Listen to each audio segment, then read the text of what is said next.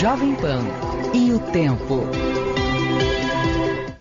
Muito bem, vamos saber agora como fica o tempo nesta sexta-feira e também durante o fim de semana. Quem tem as informações é o Carlo Burigo, ele está na estação CEAPLA, Prefeitura de Rio Claro. Bom dia, Burigo. Bom dia, Carlos, da Rádio Celso Jovem Pan.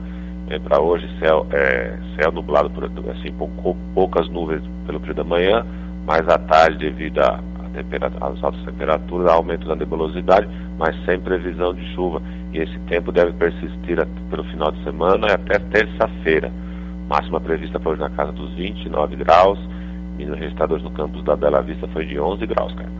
Murigo, da noite de ontem já foi registrado o primeiro incêndio na floresta estadual Edmundo Navarro de Andrade. Segundo pessoas que moram próximas ali à área do anel viário, onde as chamas começaram, no fim de tarde foram avistados algumas pessoas uh, colocando fogo, atirando fogo a lixo que fica ali jogado às margens da, da floresta. Essa situação realmente, nesse período, é muito complicada, as pessoas precisam mudar um pouco esses hábitos, não?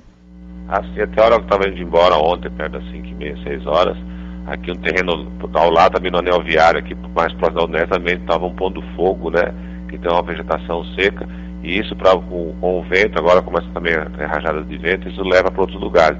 E as pessoas, como a gente sempre fala, não têm consciência, né?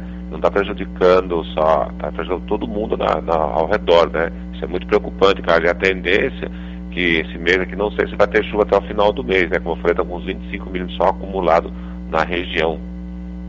Situação realmente complicada e a gente sabe que, infelizmente, no fim de semana parece que essas ocorrências aumentam, né?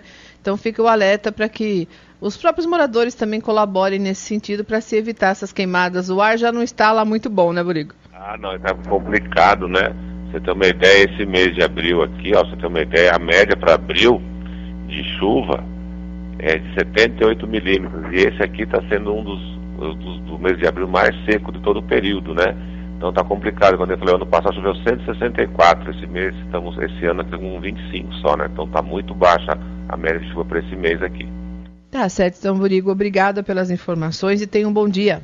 Um bom dia, um abraço a todos. Você também pode acompanhar a previsão do tempo através do canal do Jornal Cidade no YouTube. Acesse youtube.com/jornal Cidade e faça sua inscrição.